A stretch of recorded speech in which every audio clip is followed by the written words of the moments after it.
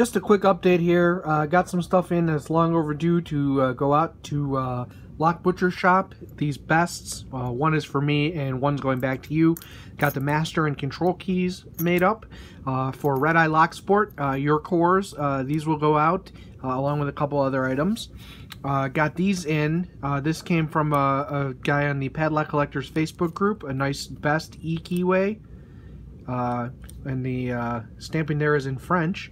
I won't try to pronounce it, but uh, Hugo, you can uh, tell me the right way.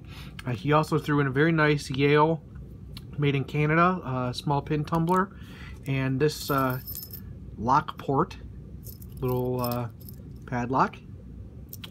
I got these from work, just thought these were cool. These are Schlage C Keyway pre-cuts with the arrow bow. I had some five pin, uh, but I never saw the six pin, so I got those.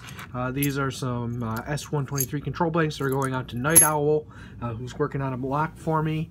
Uh, that's really it. So um, uh, Rami's the one who sent me this, and he's got that combination lock that I will be sending out. Um, that's it. Thanks for watching, and check out keypicking.com.